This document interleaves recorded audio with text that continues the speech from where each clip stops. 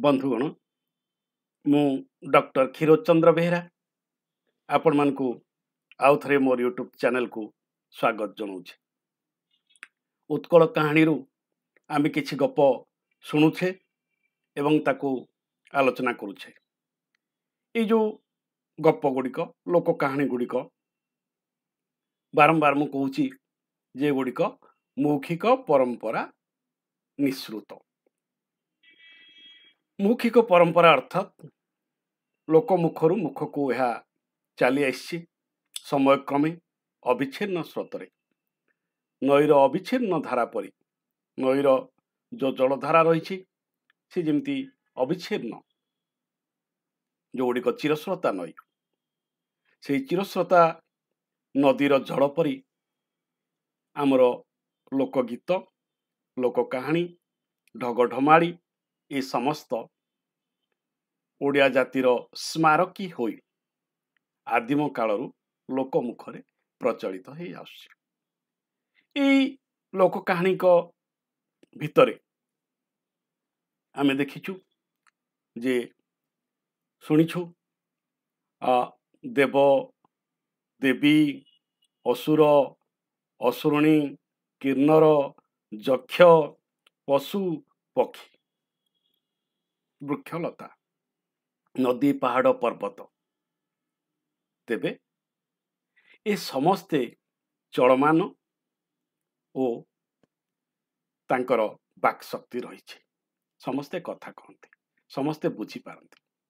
ତେଣୁ ଆଦିମ ମଣିଷର ପ୍ରକୃତି ପ୍ରତି ଜଗତ ପ୍ରତି ଯେଉଁ ଦୃଷ୍ଟିକୋଣ ଥିଲା ସେ ଦୃଷ୍ଟିକୋଣ ଏଇ ଗଳ୍ପ ଗୁଡ଼ିକରେ ପ୍ରତିଭାତ ହୋଇଛି ପରିବେଶିତ ହେଉଛି ଏବଂ ଏହାର ପ୍ରାସଙ୍ଗିକତା ବହୁ ପରିମାଣରେ ଆଜିର ସମାଜରେ ରହିଛି।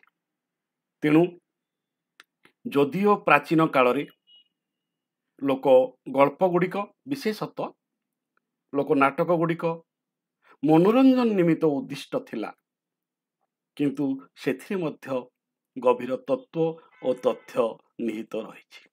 ଜୀବନ ପ୍ରତି ଦୃଷ୍ଟିକୋଣ ସେଥିରେ ପ୍ରକାଶିତ ହୋଇଛି।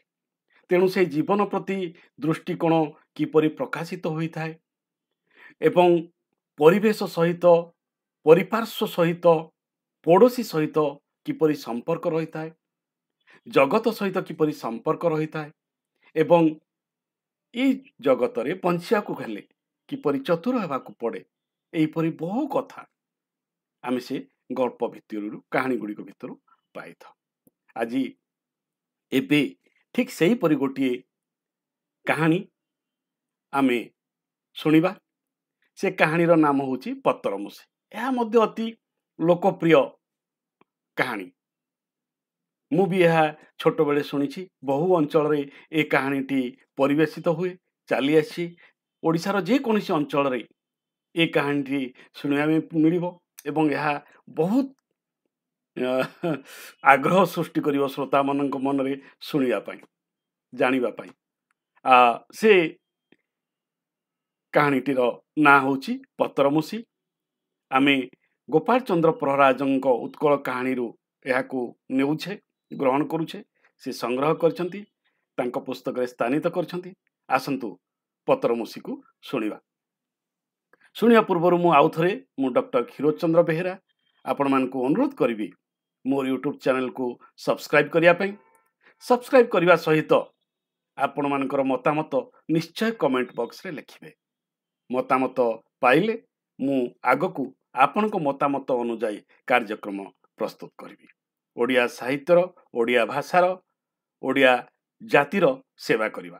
ଆସନ୍ତୁ ଶୁଣିବା ପତରମୂଷି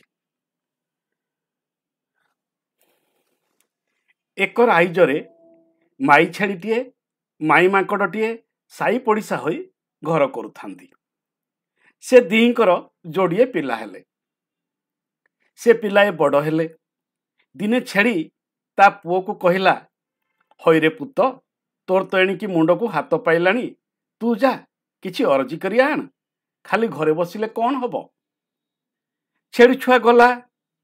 ଯାଉ ଯାଉ ବାଟରେ ବାଘ ହାବୁଟରେ ପଡ଼ିଲା। ବାଘ କହିଲା ମୁଁ ତତେ ଖାଇବି। ଛେଳି ଛୁଆ କହିଲା ମୁଁ ଯାଉଛି ରାଜା ବିଭାଘର ଯେ କ୍ଷୀରି ପିଠା ଖାଇ ମୋଟା ହୋଇ ଫେରି ଆସିବି। ତୁ ଏଠି ହିଁ ବସିଥା ମୋତେ ଖାଇଲେ ପେଟ ପୁରିବ ବାଘ କହିଲା ହଉ ଫେର ଖଣ୍ଡେ ଦୂର ଯାଇଛି ଭାଲୁ ହାବଡ଼ରେ ପଡ଼ିଲା। ଭାଲୁ କହିଲା ମୁଁ ତତେ ଖାଇବି ଛେଳି ଛୁଆ ଭାଲୁକୁ ସେମିତି ଭଣ୍ଡେଇଲା। ଭାଲୁ ବାଟରେ ଚାହିଁ ବସିଲା ଏ ଗଲା। ଫେର ବିଲୁଆକୁ ଭେଟିଲା। ବିଲୁଆକୁ ସେମିତି କହିଲା ଗଲା। ଯାଉ ଯାଉ ଏକ ଦେଉଳ ପଡ଼ିଲା। ଦେଉଳରେ ପଶିଗଲା। ଦେଖିଲା ବେଳକୁ ଦିଅଙ୍କ ପାଖରେ ସୁନା ଅସରପି ଗଦା ହେଇଛି। ସେଥିରୁ ପେଟେ ଗିଳିଲା। ଦେଉଳ ଭିତରେ କବାଟ କିଳି ପଶିଥାଏ। ଦେଉଳର ପଣ୍ଡା ଆସିଲା ଦିଅଙ୍କ ସେବା କରିବାକୁ। ଦେଖିଲା ଭିତରୁ କବାଟ ଲାଗିଛି। କବାଟରେ ହାତ ମାଇଲା। କିଏ ଅଛୁ ଏ ଦୌଡ଼ ଭିତରେ? କବାଟ ଫିଟା। ଛେଳି ତା ଭିତରେ ଥାଏ। କହିଲା ମି ମିକା ମାଣିକ ରଜା ସିଂହ ଦୁଇଟା ଗଜା ଗଜା। ଏକା ସିଂହକେ ପର୍ବତ ତାଡ଼େ ଦି ସିଂହରେ ମଣିଷ ମାରେ। ତାଳ ଗଛକୁ ଫୋପଡ଼ା କରେ ନଡ଼ିଆ ଗଛକୁ ଦାନ୍ତ କାଠି କରେ। ପଣ୍ଡା ଦେଖିଲେ ମଣ୍ଡା କରେ ମାଳେଇ ଦେଖିଲେ ତାଡ଼ି କରେ ପଣ୍ଡା ଏକଥା ଶୁଣି ତର୍ଛ ହେଲା। ପଳେଇ ଯାଇ ରାଜାଙ୍କ ଛାମୁରେ ଜଣା କଲା ରାଜା ଶୁଣି ଆଚମ୍ବିତ ହେଲେ। ରାଜା ନିଜେ ଦେଉଳ ଠେଇକି ବିଜେ କଲେ। କବାଟରେ ମାଇଲେ। ଦେଉଳ ଭିତରେ କିଏ ରେ? କବାଟ ଫିଟା। ଛେଳି ଆଉ କବାଟ ଫିଟଉ ନଥାଏ ଭିତରୁ ପାଟି କଲା ମି ମି କା ମାଣିକ ରାଜା? ସିଂହ ଦୁଇଟା ଗଜା ଗଜା। ଏକା ସିଂହକେ ପର୍ବତ ତାଡ଼େ ଦି ସିଂହରେ ମଣିଷ ମାରେ। ତାଳ ଗଛକୁ ଫୋପଡ଼ା କରେ ନଡ଼ିଆ ଗଛକୁ ଦାନ୍ତ କାଠି କରେ।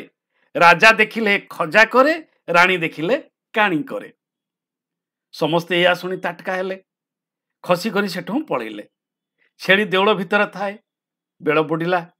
ସନ୍ଧ୍ୟା ହେଲାରୁ ଦେଉଳ କବାଟ ଫିଟେଇ ଦେଉଳରୁ ବାହାରି ଘରକୁ ଯିବ ବୋଲି ବାହାରିଲା। ମନେ ମନେ ପାଞ୍ଚିଲା ଇଲାଗେ ଗଲା ବେଳକୁ ବାଟରେ ତ ଭାଗ ଭାଲୁ ବିଲୁଆ ବସିଥିବେ ଚାହିଁ କରି। ମୋତେ ଖାଇବେ ବୋଲି କ'ଣ କରିବି? ୟା ବିଚାରି ବିଚାରି ଯାଉଥାଏ। ବାଟରେ ଏକ ପଙ୍କ ଗାଡ଼ିଆ ପଡ଼ିଲା। ସେ ପଙ୍କରେ ଯାଇ ପଡ଼ିଲା। ପଙ୍କ ଲଟପଟ ହୋଇ ଗଡ଼ିଆରୁ ଉଠି ଆସିଲା। ଗଡ଼ିଆ କୋଳେ ଏକ ଅସ୍ତ ଗଛ ସେ ଅସ୍ତ ଗଛ ମୂଳରେ ଶୁଖିଲା ଅସ୍ତପତ୍ର ବହେଁ ଲେଖାଏ ଝଡ଼ିଛି। ସେଠି ହିଁ ଗଡ଼େଇ ପଡ଼େଇ ହେଲା। ଦିହଯାକ ପଙ୍କରେ ଅସ୍ତପତ୍ର ଲାଗିଲା। ଖାଲି ଆଖି ଯୋଡ଼ିକ ଜୁଳୁ ଜୁଳୁ ହୋଇ ଦିଶୁଥାଏ। ଗଲା। ଯାଉଛି। ବାଟରେ ବିଲୁଆ ଚାହିଁ ବସିଛି। ଛେଳି ଲେଉଟାଣି ଆସିଲା ବେଳେ ତାକୁ ଖାଇବ ବୋଲି ବିଲୁଆ ଯେମିତି ୟାକୁ ଦେଖିଲା ଆଉ ଚିହ୍ନି ପାରିଲା ନାହିଁ। ପଚାରିଲା ପତର ମୁସି ମି କି ଦେଖିଛୁ କି? ଏ କହିଲା ମୁଁ କି ଜାଣେ ମି ଫି ମୁଁ ଯାଇଥିଲି ରାଜା ଘର ପତର ସିଂ। ୟା କହି ନ ଜାଣିଲା ଭଳି ଚାଲିଗଲା। ବିଲୁଆ ଆଉ ଭରସି କରି ୟାକୁ କିଛି କହିଲା ନାହିଁ। ଖଣ୍ଡେ ଦୂର ଯାଇଛି ଭାଲୁ ଚାହିଁ କରି ବସିଛି। ଭାଲୁ ପଚାରିଲା ପତ୍ର ମୁସିଲ ପତ୍ର ମୁସି ମି କି ଦେଖୁଛୁ କି? ଏ କହିଲା ମୁଁ କି ଜାଣେ ମି ଫି ମୁଁ ଯାଇଥିଲି ରାଜା ଘର ପତ୍ରସି। ଭାଲୁ ତୁନି ହୋଇ ରହିଲା। ଛେଳି ଛେଠୁ ବସି ବର୍ତ୍ତିଗଲା। ଖଣ୍ଡେ ଦୂର ଯାଇଛି। ଆଗରେ ବସିଛି ବାଘ ମାମୁଁ। ନିଶ ଫୁଲେଇ ଲାଙ୍ଗୁଡ଼କୁ ତଳେ ବାଡ଼ଉଥାଏ। ୟାକୁ ପଚାରିଲୁ ଏ ସେମିତି କହିଲା ମୁଁ କି ଜାଣେ ମି ଫି ମୁଁ ଯାଇଥିଲି ରାଜା ଘର ପତରସି। ବାଘ ସେଠୁ ନିରାଶ ହୋଇ ଉଠି ଚାଲିଗଲା। ଛେଳି ଆସି ଆସି ରାତି ଅଧରେ ଘରେ ପହଞ୍ଚିଲା। ମାଆକୁ କହିଲା ମା ଲୋ ମା ମୋତେ ବାଡ଼ିକି ମାଡ଼ୁଛି। ମା କହିଲା ମଲା ବାଡ଼ି ଆଡ଼କୁ ଯା ଖତ ଗଦାରେ ହଗି ବସିବୁ ଯା। ଏ କହିଲା ନାଇଁ ଅଗଣାର ଅରାଏ ଲିପା ପୋଛା କରିଦେ ମୁଁ ପୋଖରୀ ପାଣି ବସିବି। ମା ଆଉ କ'ଣ କରିବ? ମାଟି ଗୋବରରେ ଅଗଣା ମଝିକୁ ଅରାଏ ଲିପା ପୋଛା କରିଦେଲା। ଏ କହିଲା ତୁ କାନି ପାର ମୁଁ ହଗିବି। ପିଲା ତ ଆଗରୁ ଗେଲେ ବସରେ ସେରନ୍ତାରେ ବଢ଼ିଛି ଏତେବେଳେ ମା ଆଉ କ'ଣ କରିବ? ପଣନ୍ତ ପାରିଦେଲାରୁ ଛେଳି ଛୁଆ କୁନ୍ଥେଇଲା ବେଳକୁ ପଣନ୍ତ କାନିରେ କାନିଏ ସୁନା ରୂପା ଅସରପି ଗଳି ପଡ଼ିଲା। ଦେଉଳରେ ଯେତେ ଯାକ ଗିଳିଥିଲା ସବୁ ବାହାରିଲା। ମାର ୟା ଦେଖି ଗୋଡ଼େ ତଳେ ଲାଗୁନଥାଏ ମାକୁ କହିଲା ମା ଲୋ ମା ବୁଝ ଏକଥା ଯେମିତି ଦି କାନରୁ ଚାରି କାନ ନୁହେଁଠି ମା ହଉ କହିଲା। ସକାଳୁ ମାଇ ମାଙ୍କଡ଼ ୟା ଘରକୁ ବୁଲି ଆଇଲା ବେଳକୁ ଦେଖେ ଛେଳି ମାଣ ଗହୁଣୀରେ ସୁନା ରୂପା ମାପୁଛି। ମାଙ୍କଡ଼ ପଚାରିଲାରୁ ଛେଳିମା କହିଲା ମୋ ପୁଅ ୟାକୁ ସବୁ କାଲି ଅରଜନ କରି ଆଣିଛି। ମାଇ ମାଙ୍କଡ଼ ସେଥିରୁ ଛେଳି ଛୁଆ ସାଙ୍ଗରେ ଲଗେଇଲା ତୁ ଏତେ ଟଙ୍କା ସୁନା କେମିତି ଆଣିଲୁ? ମୋତେ କହ କାଲି ମୋ ପୁଅ ଯିବ ଆଣିବ? ଛେଳି ଛୁଆ କହିଲା ମୁଁ ମୁଣ୍ଡରେ ଏକ ଜଟ ପାରିଲି ଯାଇକରି ରାଜା ନଅରରେ ଡେଇଁଲି ଗୀତ ଗାଇଲି। ମୁଣ୍ଡରେ ଜଟ କୁଆ ହଗି ଦିଏ ଲଟପଟ। ବାଟରେ ଯାହାକୁ ଦେଖିଲି ଏହା ବୋଇଲି। ଘରକୁ ଆଇଲାରୁ ମା ବାଡ଼େଇଲା ଯେ ମୁଁ ଟଙ୍କା ସୁନା ହଗିଲି। ମାଙ୍କଡ଼ ମା ମାଙ୍କଡ଼ ମା ମାଙ୍କଡ଼ ଛୁଆ ମୁଣ୍ଡରେ ଜଟଟିଏ ପାରିଦେଲା। ମାଙ୍କଡ଼ ଛୁଆ ଯାଇ ରାଜାଙ୍କ ନଅରେ ଚାଳ ବାଡ଼ରେ ଡେଇଁଲା। ବୋଲୁଥାଏ ମୁଣ୍ଡରେ ଜଟ କୁଆ ହଗି ଦିଏ ଲଟପଟ। ସମସ୍ତେ ଦେଖି ଦୂର ଦୂର କଲେ ଗୋଡ଼େଇ କରି ମାଙ୍କଡ଼କୁ ବାଡ଼େଇଲେ। ଏ ପଳେଇ ଆଇଲା ବେଳକୁ ବାଟରେ ଟଙ୍କାଟିଏ ପଡ଼ିଥିଲା ତାକୁ ଗିଳିଦେଲା। ଆସି ରାତିକି ଘରେ ପହଞ୍ଚିଲା ବେଳକୁ ମା ଚାହିଁ କରି ବସିଛି।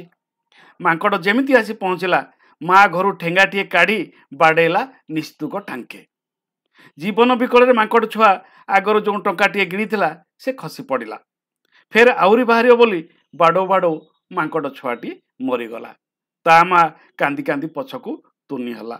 ମୁଁ ଗଲାରୁ କଥା ନ କହିଲା। ମୋ କଥାଟି ସଇଲା ଫୁଲ ଗଛଟି ମଇଲା।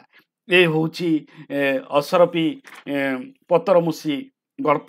ଏ ପତରମୁଷି ଗଳ୍ପରେ ଲୋଭ କଥା କୁହାହେଉଛି ଚାଲାକି କଥା କୁହାହେଉଛି ପରିଶ୍ରମ କଥା କୁହାହେଉଛି ଏବଂ ବଣ ଜଙ୍ଗଲରେ ରହୁଥିବା ପଶୁମାନଙ୍କ ଭିତରେ ଥିବା ସମ୍ପର୍କର କଥା କୁହାହେଉଛି। ତେଣୁ ଓଡ଼ିଆ ଲୋକ କାହାଣୀରେ ବିଭିନ୍ନ ପ୍ରକାର ଜୀବନଶୈଳୀ ବୃତ୍ତାନ୍ତ ରହିଛି ଯାହା ଓଡ଼ିଆ ଜାତିର ଅତି ଅନ୍ତରଙ୍ଗ। ବିଦ୍ୟାର୍ଥୀ ବନ୍ଧୁଗଣ ଆଜି ପତ୍ରମୁଷି ଗଳ୍ପ ଶୁଣିଲେ ପରବର୍ତ୍ତୀ ପର୍ଯ୍ୟାୟରେ ଆମେ ଅନ୍ୟ କାହାଣୀ ଶୁଣିବା ଏବଂ ଆପଣମାନଙ୍କର ମତାମତ ନିଶ୍ଚୟ ଦେବେ। ଆଜି ପାଇଁ ଏଇଠି ରହୁଛି। ନମସ୍କାର। ଧନ୍ୟବାଦ।